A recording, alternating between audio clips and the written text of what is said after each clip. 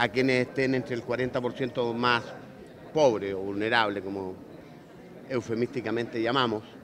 Está bien, está bien, pero hay que hacerlo por una sola vez.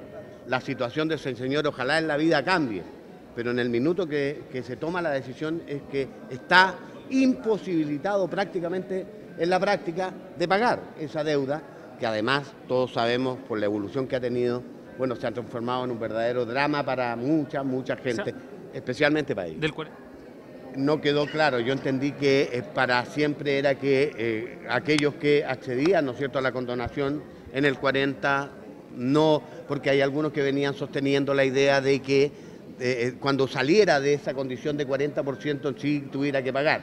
Eso yo no lo comparto. Yo no conozco el detalle de la, de la propuesta. Yo lo que puedo decir es que comparto el criterio que está detrás de ello, ¿no? que es resolver y aliviar la situación de gente que la está pasando muy mal como consecuencia de.